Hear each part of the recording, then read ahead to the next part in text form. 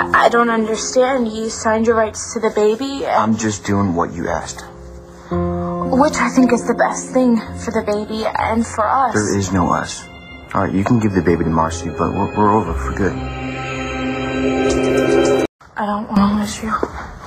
This isn't what I want either. But if you don't want to raise our baby together, if you just want to sign him or her away, then I'm not going to fight you anymore. I'm not going to put our baby in the middle of a war. I don't want a war. No, you just don't want a family with me. I do. Okay, just not with the one we already have, or with the baby we already made. Because I'm 16 and I'm just not ready to. Not, not ready to what? To what? Throw your life away to raise our baby? See, I don't see it that way. Okay, Cole. I, I'm the mother. I'm the one who has to give birth, who has to. The, the, the one who has all the power over, over what decisions get made? You were gonna have abortion without even telling me you were pregnant. I should have known that. You should have known what.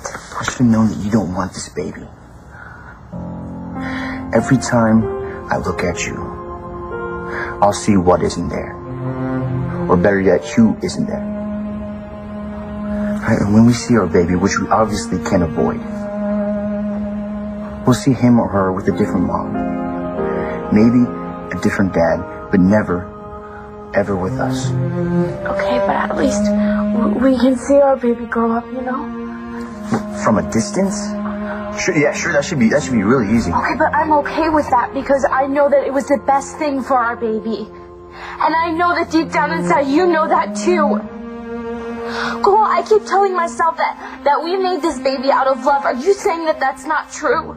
I did love you. I still do. There is nobody in this world who knows what I'm going through except for you, okay? I need you. I can't do this on my own, but I know that we can do this together. What makes you think so? Because you're the love of my life, and I will never, ever let you go. You already did.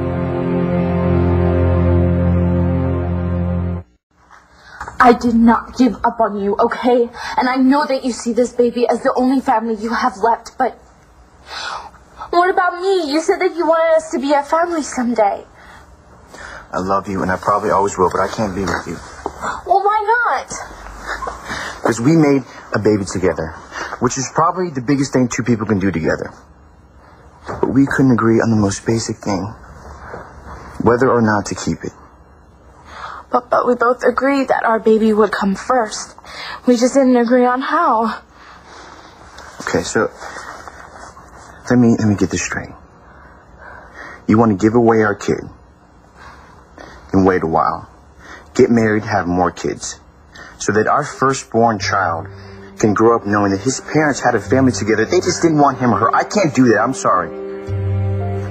Cole, please. Don't give up on us, okay?